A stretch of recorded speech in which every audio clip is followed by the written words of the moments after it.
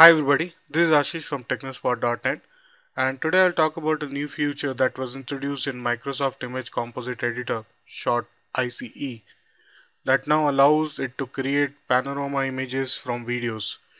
Panorama images are basically composite images where you combine a lot of images together to give one image and those images are actually taken from different angle.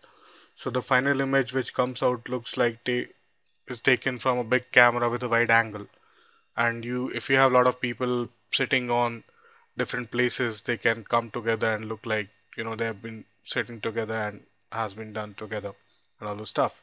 So let's see how the uh, panorama images can be created from the videos. So you need to go to file click on new video panorama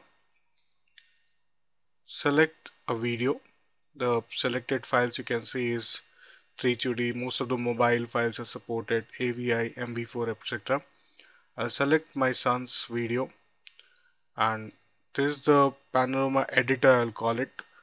This part defines what parts of video can get into uh, the final panorama image. So what you need to do is you need to draw a rectangle around the area which you want to come in. Select whatever is required then you need to move your time frame to next video possibly a bit away from that. So I'll just go back a bit. And this is no not this one. We'll just go a bit back. Okay this is perfect. So I'll just select one. Now possible to select a bit wider so the mix and match can happen easily to avoid confusions like don't mark part of the image same part if we have people in the same spot. I'm just trying to go back it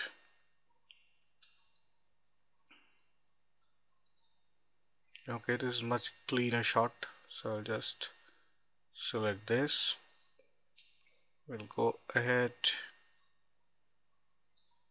Make sure you're choosing the right part. That is what is important if you go for a manual selection.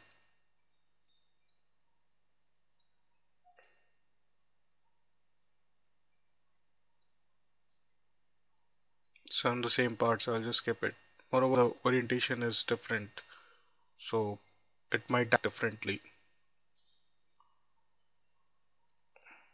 So just move a bit and this is perfect I'll just select this part.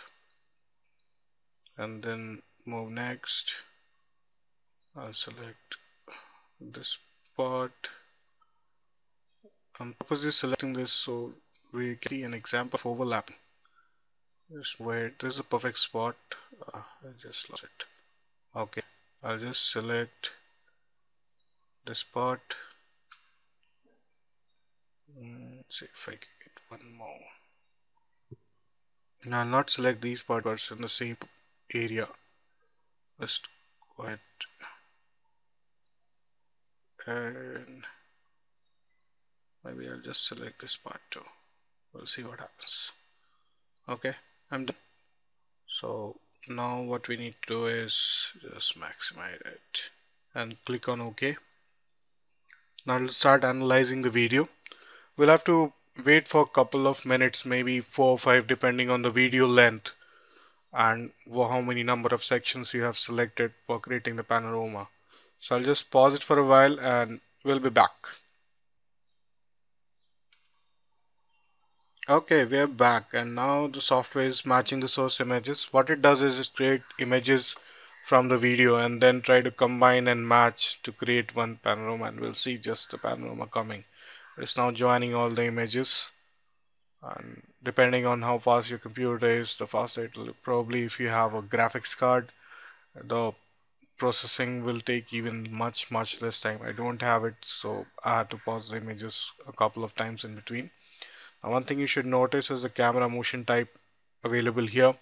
It has just 30 or 43 images and the angle is 180.5 degree horizontally and 42.6 degree vertically. So it's similar to what camera does taking images from here this angle that angle and give you a 3d view. And this is the image we have. Now taking a look at the image I messed up this part because I had selected two images or two parts twice here which I did on purpose. And uh, we have this part perfect. This is the starting part which is perfect. Overall it looks good. So now what I can do is since I don't want this I'll just cut off this. And uh, I'm not sure because we cannot remove the middle part so I cannot crop this. So what we'll do is uh, we'll change the camera motion to planar motion 1 it will again start reading source images do composite so I'll just pause. Okay we are back now. Back and now we have a bit I'll not say a bit I'll say a lot better image now. Because the effect of overlapping image is gone and we have one image less here. And now I can just stitch or I'll just I can just keep this way take it to a Photoshop editor or any editor just fix this part. Otherwise the whole image is pretty fine. Now if you have been wondering why the other section like uh, my son's photograph which is going to the bedroom was not taken so what it does it takes the maximum possible angle and since it it needs to take care of all the images you have marked so it will find what is the most optimal solution for you. You can of course change the camera motion here and you can get a different view.